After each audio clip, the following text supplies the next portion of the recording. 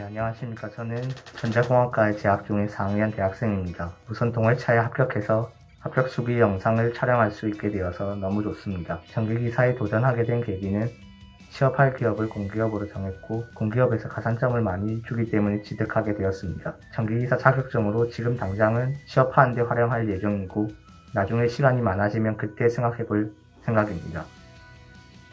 응시한 시험에서 가장 인상적이었던 문제는 저는 1번 테이블 스펙 문제가 기억에 남는데 보통 이제 관연도 기출 문제를 풀다 보면 차단기와 개폐기 선정하는 문제들은 쉽고 자주 나와서 눈으로만 풀고 넘겼었는데 실제 시험장에서 마주해보니 선정 과정이 제대로 기억이 나지 않아 당황했었습니다. 시험 치고 나와서 공부할 때 확실하게 아는 것도 직접 써보고 풀어볼 걸 하고 후회했던 기억이 있습니다.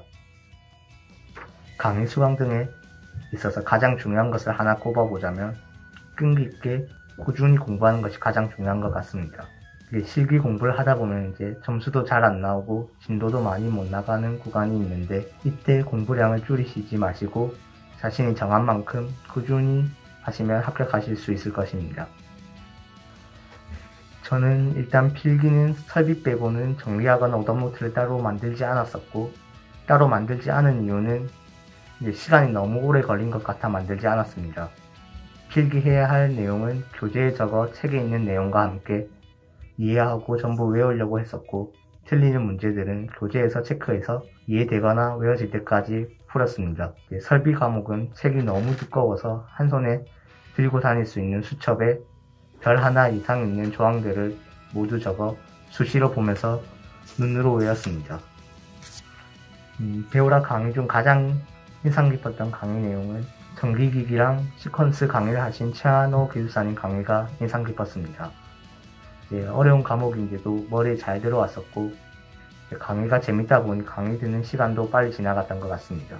아마 최한호 기술사님이 강의에서 하라는 대로만 하시면 적어도 그 과목은 문제가 없지 않을까 싶습니다.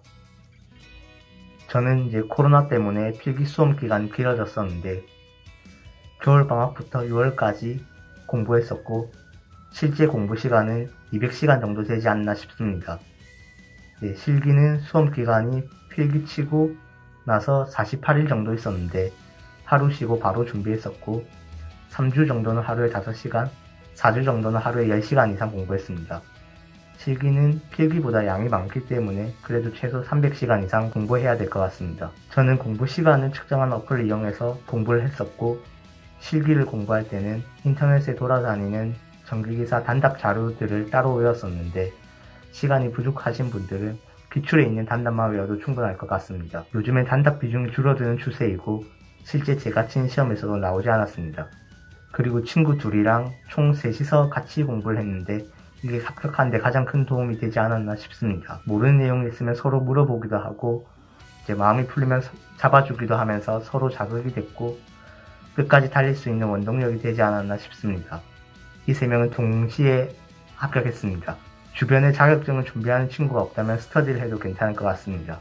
마지막으로 시험 치고 나서 가치점 결과가 합격권 근처이거나 합격 점수를 넘으면 긍정적으로 생각해서 신경 쓰지 않는 게 시간도 빨리 가고 마음도 편하고 좋았던 것 같습니다.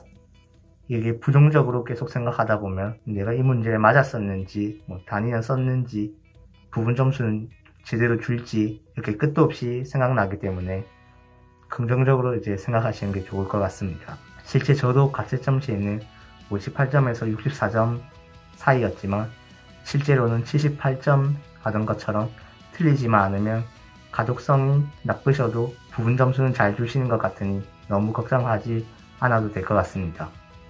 이제 그러면 수험생 여러분들 모두 화이팅입니다.